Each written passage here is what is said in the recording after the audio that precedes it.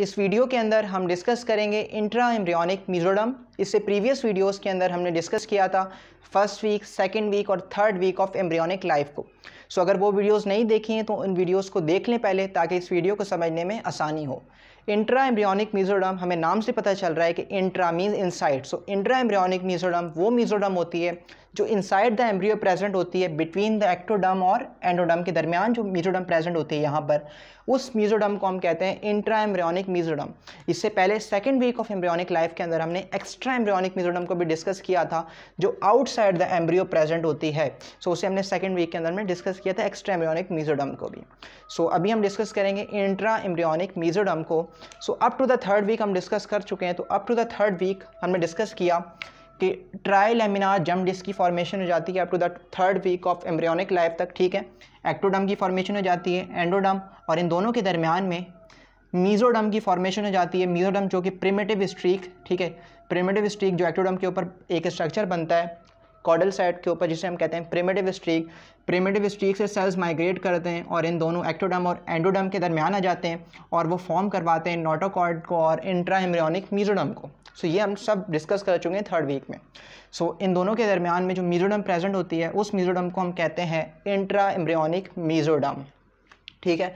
और एक्टोडम से ऊपर जो एक कैविटी प्रेजेंट है इसे हम कहते हैं एमनियोटिक कैविटी और एंडोडम के बिलो पे जो कैविटी प्रेजेंट होती है उसे हम कहते हैं yolk sac so up to the third week of embryonic life ये सब हम डिस्कस कर चुके हैं। सो so, अभी हम डिस्कस करेंगे इंट्रा एम्ब्रियोनिक मीजोडम को।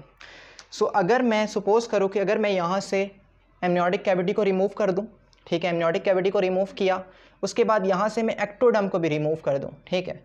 एक्टोडम को भी रिमूव कर दिया, ठीक है? एक बॉल लाइक एम्ब्रियो को सपोज़ करो, एक बॉल लाइक स्ट्रक्चर है इसका मैंने एमनियोटिक कैविटी रिमूव की, उसके बाद मैंने एक्टोडम भी रिमूव कर दिया। अब मैं सुपीरियर व्यू से अगर मैं एम्ब्रियो को देखता हूँ तो एम्ब्रियो डायरेक्टली मैं इंट्रा एम्ब्रियोनिक म्यूजोडम को देख सकता हूँ, और इस तरह का कुछ स्ट्रक्चर मुझे नज़र आएगा in the intra embryonic mesoderm का सुपीरियर व्यू से, क्योंकि एक्टोडम भी नहीं है अब, और ऊपर एमनियोटिक कैविटी भी नहीं है।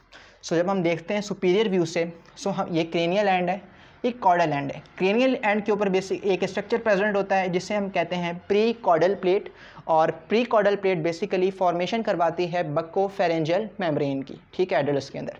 और कॉडल साइड के ऊपर हमें एक मेम्ब्रेन नज़र आती है। इस मेम्ब्रेन को हम कहते हैं क्लोकल मेम्ब्रेन ठीक है, ये क्लोकल मेम्ब्रेन प्रेजेंट है on the caudal side prechordal plate present है ऑन दी क्रेनियल साइड के ऊपर।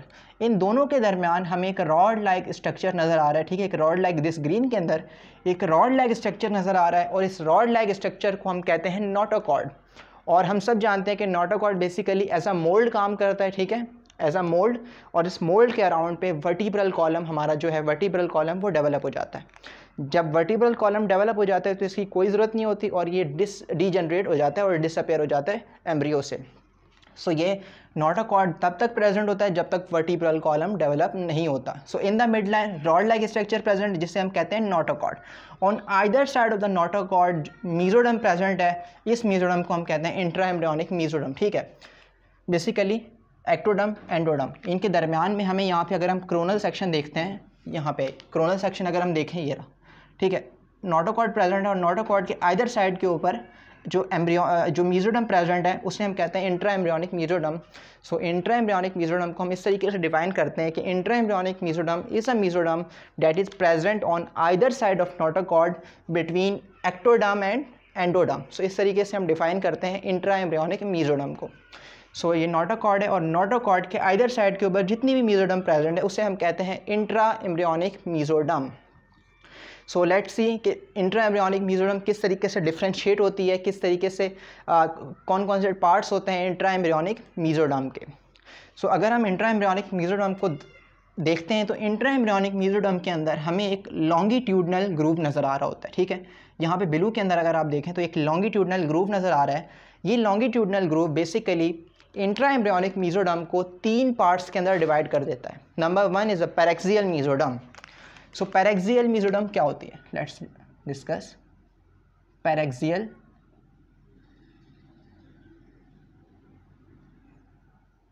mesoderm paraxial near ठीक है नियर द एक्सिस ठीक है paraxial means near the axis so axis mid line of the body को कहते हैं, ठीक है? इस एक्सिस के अंदर क्या प्रेजेंट है? Notochord notochord vertebral column बना रहा होता है तो vertebral column in the midline present है. तो पैरेक्सियल मीजोडम मीन्स के एक्सिस के बिल्कुल करीब जो मीजोडम प्रेजेंट है, उसे हम कहेंगे पैरेक्सियल मीजोडम तो mesoderm that is present on immediately near to the notochord तो नोटोकॉर्ड के इमीडिएटली जो साइड के ऊपर जो मीजोडम प्रेजेंट है, ये रेड के अंदर इस मीजोडम को हम कहते हैं पैरेक्सियल मीजोडम ठीक है? Number one is the paraxial mesoderm number two is the intermediate mesoderm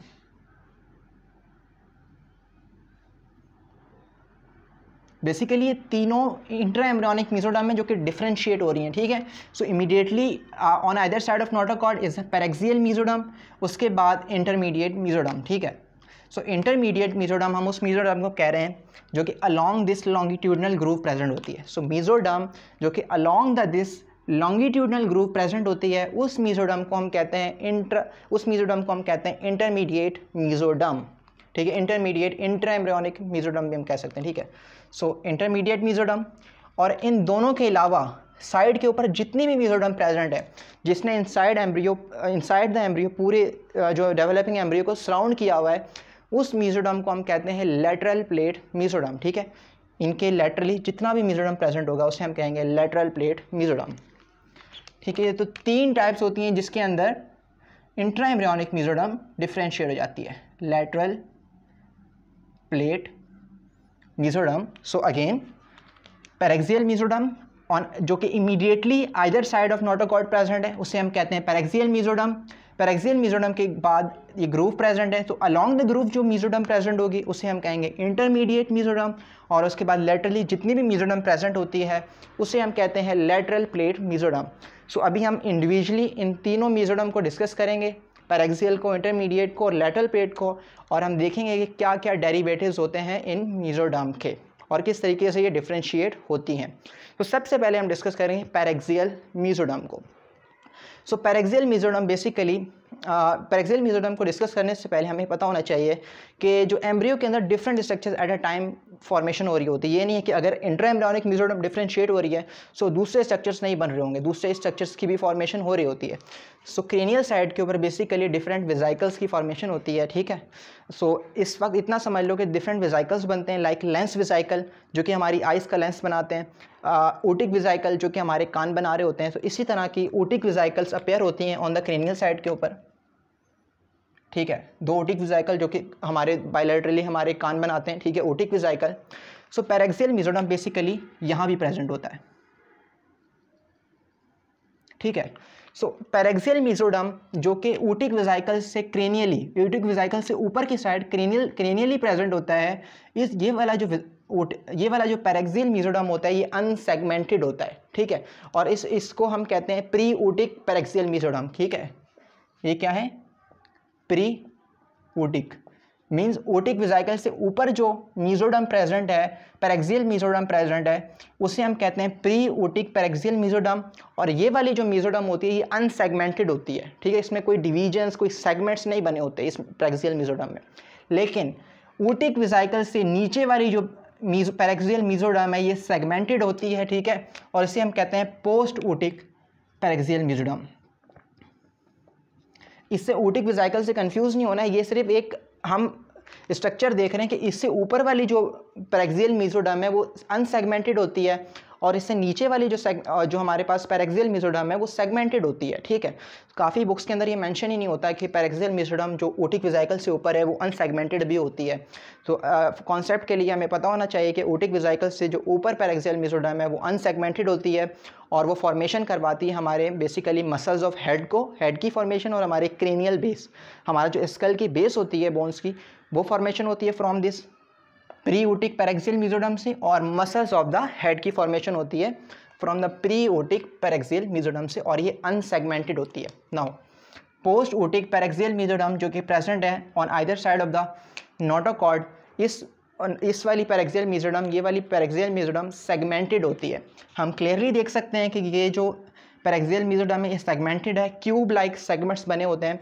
So in cube like segments को हम बेसिकली कहते हैं सोमाइट्स सोमाइट्स वर्ड सुन के काफ़ी कंफ्यूज होते हैं स्टूडेंट्स तो ये बहुत ही इजी चीज़ है सोमाइट्स के somites is nothing but the segments of paraxial mesoderm on either side of the notochord ठीक है? तो either side of the notochord paraxial mesoderm segmented होती है और वो क्यूब लाइक सेगमेंट्स बनाती है और उन क्यूब लाइक सेगमेंट्स को हम कहते हैं सोमाइट्स सो so, और ये सोमाइट्स बेसिकली इनकी डेवलपमेंट स्टार्ट ये जो पेरेक्सियल मीजोडम सेगमेंट्स बनाना शुरू करती है तो बेसिकली ये सोमाइट्स की फॉर्मेशन होती है between the twenty to thirty day of intra uterine life ठीक है?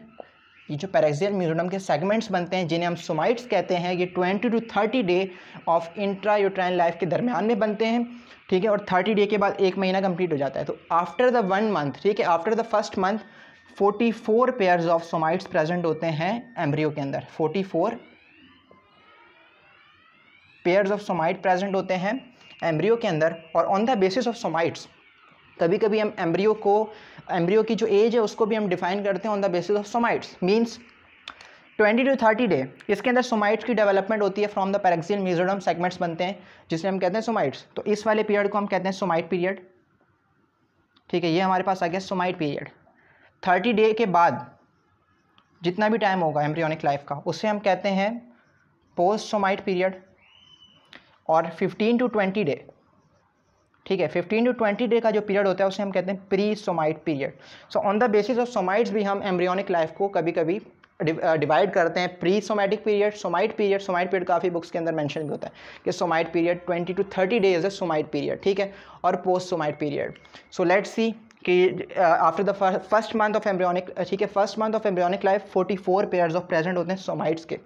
सो थर्ड वीक के अंदर क्या हुआ? बेसिकली ट्रायल एमिना जामडिस बनी फोर्थ फोर्थ वीक के अंदर basically at the end of the fourth week one month complete हो जाता है। तो फोर्टी फोर पेयर्स ऑफ़ हमारे पास सोमाइट्स प्रेजेंट होते हैं। लेट्स सी इंडिविजुअली सोमाइट्स के सोमाइट क्या सोमाइट ने कैसे क्या स्ट्रक्चर होता है सोमाइट का। सो so, अगर हम बेसिकली सोमाइट को देखें so somite basically is a cube like structure ठीक है इस तरीके से क्यूब लाइक स्ट्रक्चर होता है। इस स्ट्रक्चर को हम कहते हैं सोमाइट और सोमाइट बेसिकली इसका एक डॉर्सल एंड है।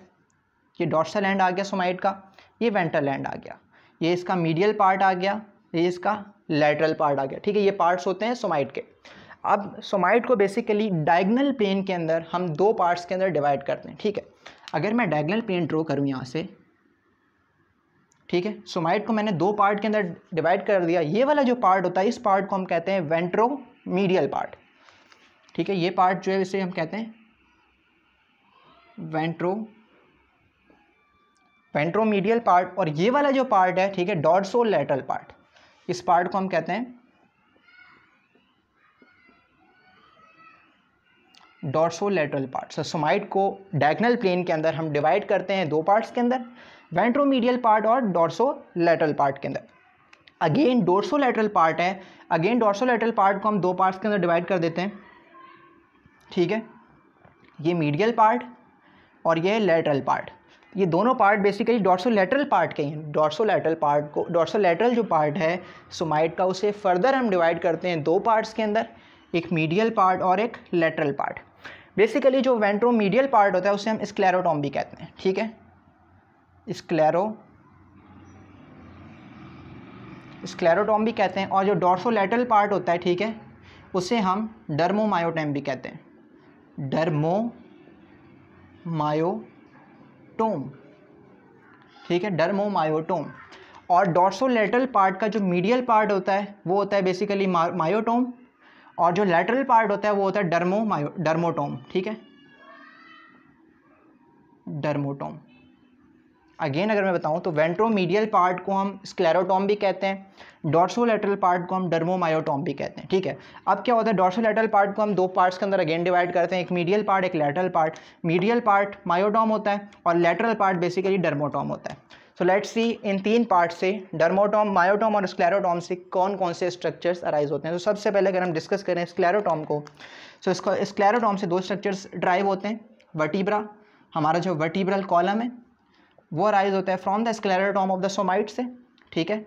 और रिब्स हमारे रिब्स तो ये दो स्ट्रक्चर्स अराइज होते हैं from the sclerotome let's see dermatome से क्या राइज होता है? डर्मोटॉम से भी दो स्ट्रक्चर राइज होते हैं। एक डर्मिस हमारी स्किन की लेयर डर्मिस और subcutaneous tissue subcutaneous tissue epidermis नहीं अराइज होती, ठीक है? सिर्फ़ डर्मिस अराइज होती है, ठीक है? एपिडर्मिस अराइज नहीं होती एपिडर्मिस अराइज होती है फ्रॉम द डर्मोटॉम और सब कुटेनियस टिश्यू जो हमारी स्किन के नीचे जो टिश्यू प्रेजेंट है, वो अराइज होते हैं फ्रॉम दी डर्मोटॉम डर्मोटॉम के बाद बेसिकली मायोटॉम मायोटॉम से बेसिकली अराइज होते हैं हमारी स्केलेटल मसल्स ठीक है? स्केलेटल मसल टंग और डायाफ्रम ये तीन स्ट्रक्चर्स अराइज होते हैं from the myotome let's see again ventromedial part को स्क्लेरोटॉम कह रहे हैं। स्क्लेरोटॉम से वर्टिब्रा वर्टिब्रा हमारे वर्टिब्रा और रिब्स अराइज होते हैं। डर्मोटॉम से डर्मिस और सबकोटेनियस टिश्यू अराइज होता है और मायोटॉम से skeletal muscles tongue and diaphragm rise होता है। सो so, ये डिफरेंट स्ट्रक्चर्स होते हैं जो राइज होते हैं फ्रॉम द सोमाइट्स और अभी तक सोमाइट्स को हमने काफ़ी डिस्कस कर चुके हैं और हमें काफ़ी नॉलेज हो गई है सोमाइट्स की कि somites are the segments of the paraxial mesoderm on either side of the notochord somites basically somite period hota है 20 to 30 day after the 30 day 44 pairs of somite present hote hain in the embryonic life ठीक है so twenty to thirty days somite period somite के दो part होते हैं ventromedial part dorsolateral part dorsolateral part again divide होता है medial part और lateral part के अंदर ठीक है स्क्लेरोटॉम मायोटॉम और डर्मोटॉम को हमने डेरिवेटिव्स भी देखे। So these are the structure of the paraxial mesoderm ठीक है ये पैरेक्सियल म्यूजोडम इस तरीके से सेगमेंट्स बनाते हैं। तो अभी तक हमने डिस्कस कर लिया पैरेक्सियल म्यूजोडम को सो so, अभी हम डिस्कस करते हैं इंटरमीडिएट म्यूजोडम को। इंटरमीडिएट म्यूजोडम बेसिकली दो स्ट्रक्चर्स फॉर्म करवाता है। Number one is kidney kidney and gonads ठीक है? हमारे जो इंटरमीडिएट म्यूजोडाम है, उससे दो इंपॉर्टेंट स्ट्रक्चर्स अराइज होते हैं। Number one is the kidney and number two is the gonads basically ये जो एक लॉन्गिट्यूडनल ग्रुप बन रहा है, जिसके अलॉन्ग पे इंटरमीडिएट म्यूजोडम प्रेजेंट होती है। सो so बेसिकली इस, ये जो एक कॉर्ड लाइक ये जो ग्रुप है, ये इंटरमीडिएट म्यूजोडम बनाती है। सो so अलॉन्ग क्योंकि ये अलॉन्ग द इसके अलॉन्ग द ग्रुप प्रेजेंट है तो ये जो इंटरमीडिएट म्यूजोडम है, ये एक कॉर्ड बना रही है, ठीक है अलॉन्ग दिस ग्रूव ठीक है? एक कॉर्ड लाइक स्ट्रक्चर एक रॉड लाइक स्ट्रक्चर बन जाता है। उस स्ट्रक्चर को हम, इस कॉर्ड को हम बेसिकली कहते हैं nephrogenic cord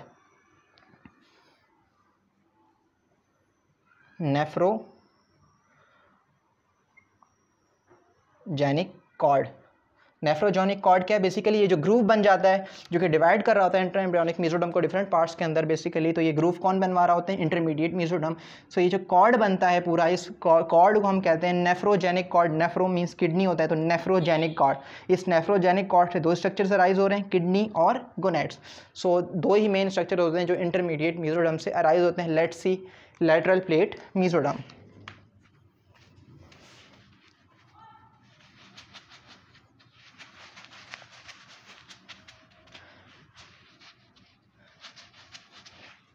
lateral plate mesoderm basically वो लेटरली जितनी भी मीजोडम है जो कि सराउंड कर रही है जो कि सराउंड कर रही होती है इन दोनों मीजोडम को, जो कि पूरे एम्ब्रियो को इनसाइड से सराउंड कर रही होती है, ठीक है लेटरल लेटरली तो उस मीजोडम को हम कहते हैं लेटरल प्लेट मीजोडम ठीक है, उसे अभी हम डिस्कस करते हैं। लेटरल प्लेट मीजोडम को। Lateral plate mesoderm basically lateral plate mesoderm को डिस्कस करने से पहले हमें यहाँ पे कुछ और स्ट्रक्चर्स का भी पता होना चाहिए। एमनियोटिक कैविटी है यॉक्स है और ट्राइलेमिना जम डिस्क है इन बिटवीन हमारे पास मीजोडम प्रेजेंट है। ठीक है तो अराउंड दिस स्ट्रक्चर बेसिकली एक कैविटी प्रेजेंट होती है। ठीक है, इस कैविटी को हम कहते हैं एक्स्ट्रा एम्ब्रियोनिक सिलोम ठीक है, ये जो कैविटी है आउटसाइड द एम्ब्रियो इस कैविटी को हम कहते हैं एक्स्ट्रा एम्ब्रियोनिक सिलोम इन सबको हमने डिस्कस किया हुआ है सेकेंड और थर्ड वीक के अंदर। ठीक है एक्स्ट्रा एम्ब्रियोनिक सिलोम और एक्स्ट्रा एम्ब्रियोनिक सिलोम के अंदर एक्स्ट्रा एम्ब्रियोनिक मीजोडम प्रेजेंट होता है, ठीक है? यहाँ तक समझ आ गया। अब दोबारा से अगर हम देखें लेटरल प्लेट मीजोडम को, ठीक है, ये सारी लेटरल प्लेट मीजोडम है और लेटरल प्लेट मीजोडम के अंदर बेसिकली छोटे छोटे स्पेसेस या क्लेफ्ट्स बनना शुरू हो जाते हैं, ठीक है? छोटी छोटी स्पेसेस ठीक है, इस तरीके से स्पेसेस या क्लेफ्ट्स बनना शुरू हो जाते हैं, ठीक है?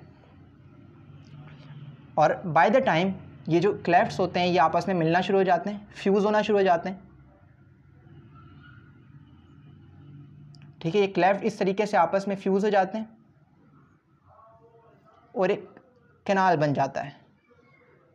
ठीक है, इस कैनाल को हम कहते हैं बेसिक ठीक है, ये ये लेटरल प्लेट मीजोडम है। लेटरल प्लेट मीजोडम के अंदर स्पेसिस छोटी छोटी क्लेफ्ट्स बनना शुरू हो गए। उन वो क्लेफ्ट आपस में फ्यूज़ हुए और एक एक बेसिकली एक कैनाल बन गया। उस कैनाल को हम कहते हैं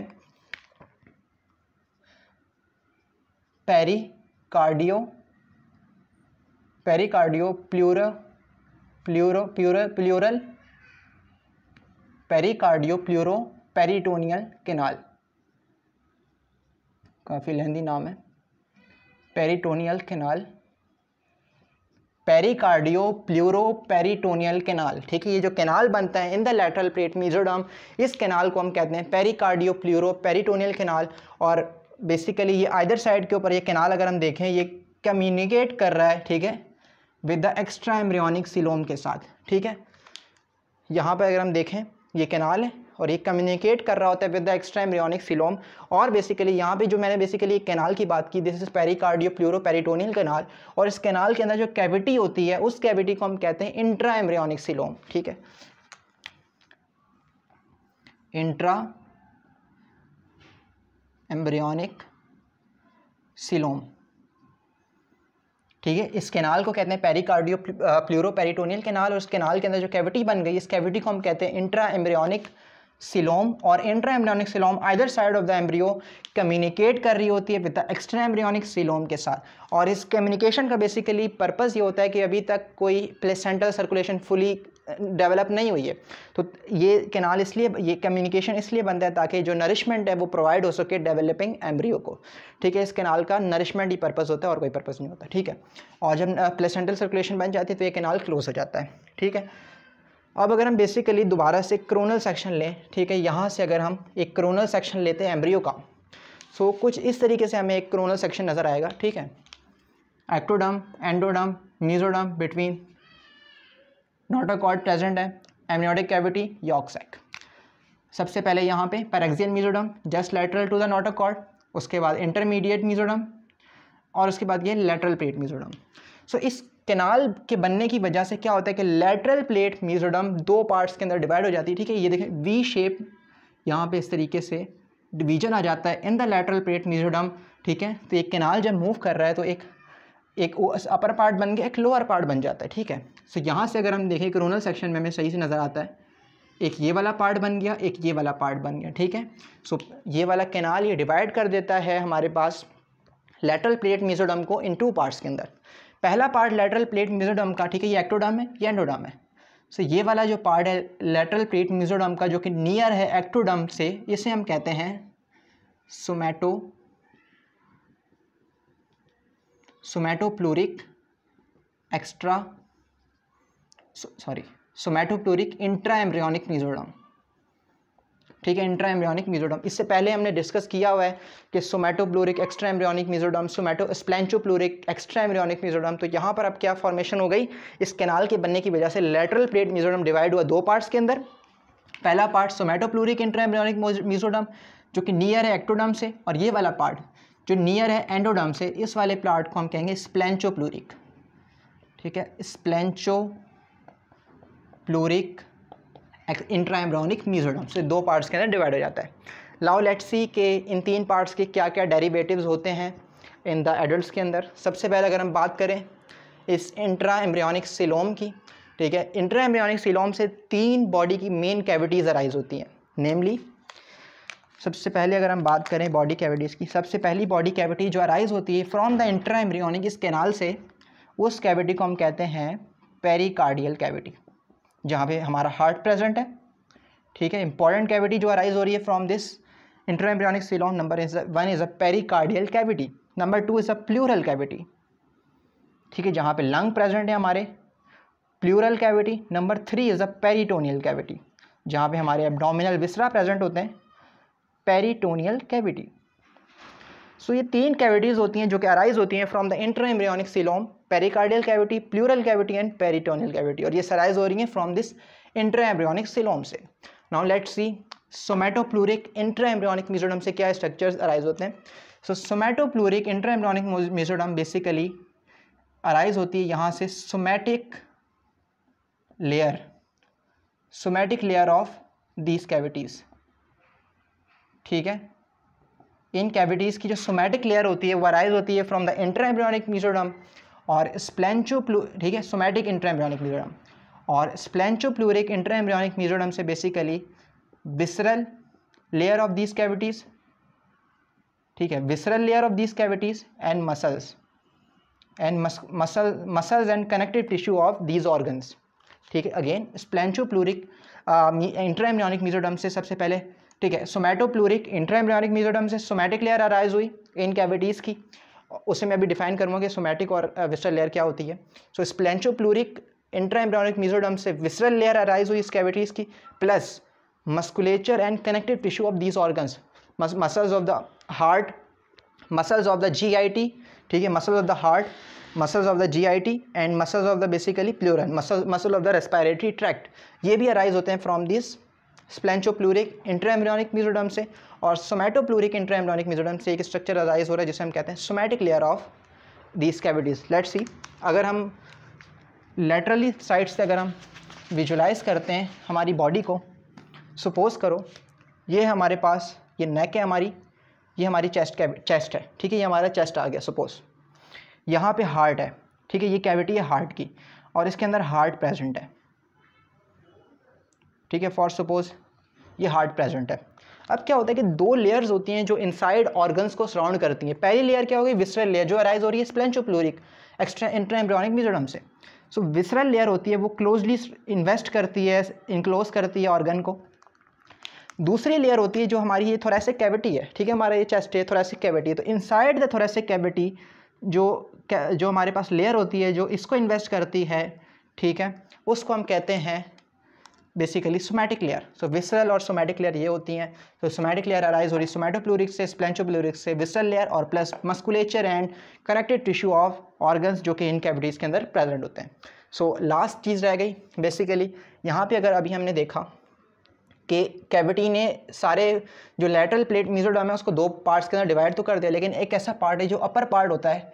यहाँ पर ये कैनाल ये इंट्रा एम्ब्रियोनिक सिलोम प्रेजेंट नहीं होती और ये वाला पार्ट डिवाइड नहीं होता दो स्मैटोप्लूरिक और बेसिकली स्प्लेंचोप्लूरिक में। तो इस वाले पार्ट के अंदर क्या होता है कि स्मैटोप्लूरिक और स्प्लेंचोप्लूरिक दोनों साथ प्रेजेंट है, ठीक है?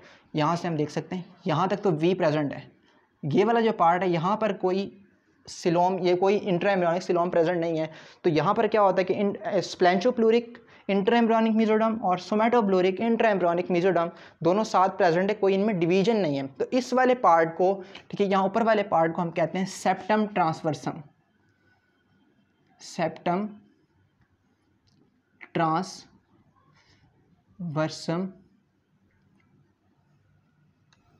ठीक है, और इस सेप्टम ट्रांसवर्सम से एक स्ट्रक्चर अराइज होता है, जिसे हम कहते हैं डायाफ्रम ठीक है? Diaphragm so this was all about the intra embryonic mesoderm so video काफ़ी लेंदी भी हो गई है, लेकिन कॉन्सेप्ट को समझने के लिए टाइम लगता है तो this was all about the intra embryonic intra embryonic mesoderm